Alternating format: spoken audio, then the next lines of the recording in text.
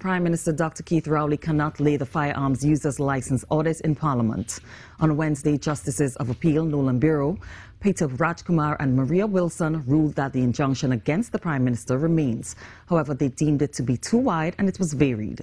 The Prime Minister will not be able to lay the report in Parliament or a summary of it except to those who are named in it, so they can make representations. Only when these comments are incorporated into the report can the audit report be shared with Cabinet. Those named in the report will only receive a copy of those parts of the report which affect them. The appeal court justices ordered that the report must be redacted, and this will remain in place until Justice Devindra Rampersad gives his decision on the challenge to the report, which is expected on March 3rd. On December 13th, High Court Judge Devindra Rampersad granted the injunction in favor of former Commissioner of Police Gary Griffith to delay the publishing of the report.